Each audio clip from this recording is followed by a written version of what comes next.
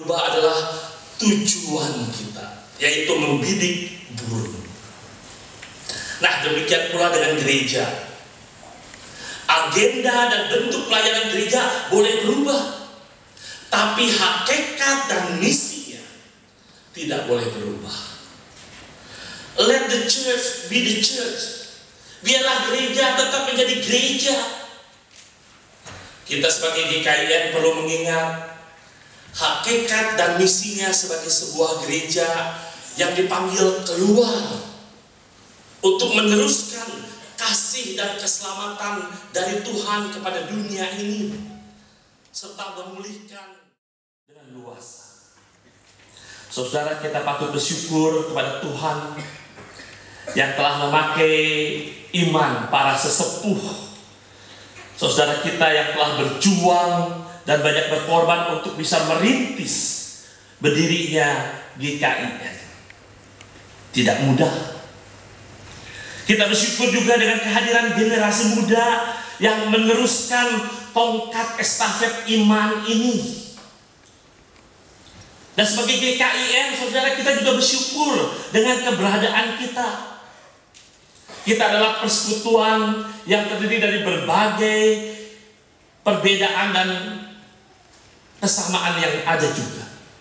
Berbeda suku bangsa, suku daerah, bahasa, budaya, denominasi, pendidikan, dan seterusnya.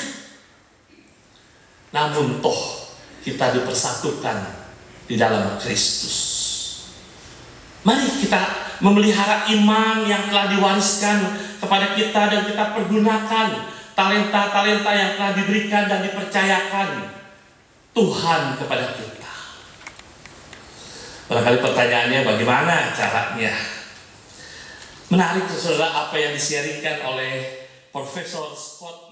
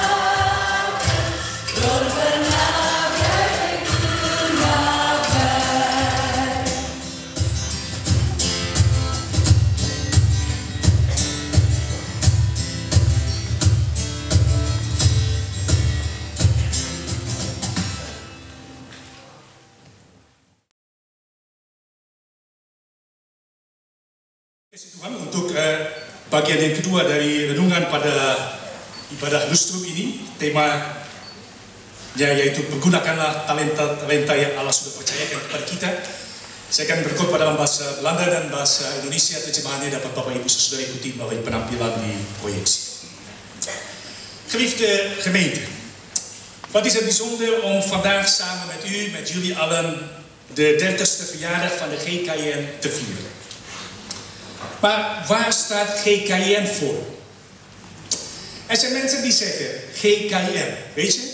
GKN staat voor gezellige kerk met Indonesische koekjes. En wat is die N? En nog een heleboel meer. Dus dat is GKN, gezellige kerk met Indonesische kerk. En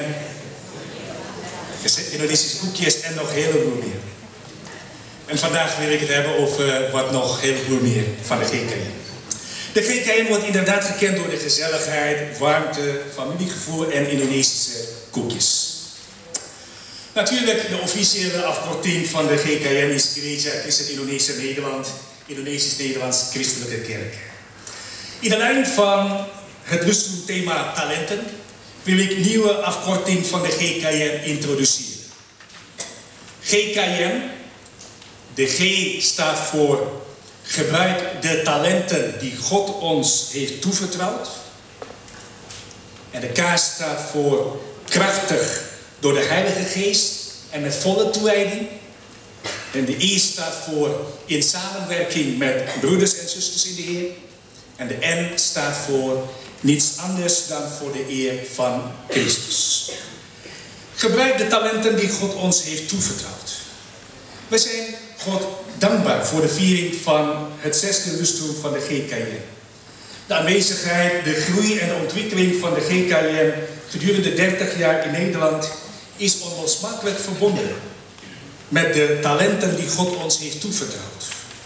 In de afgelopen 30 jaar heeft God ons gezegend met zoveel talenten en met mensen die hun talenten.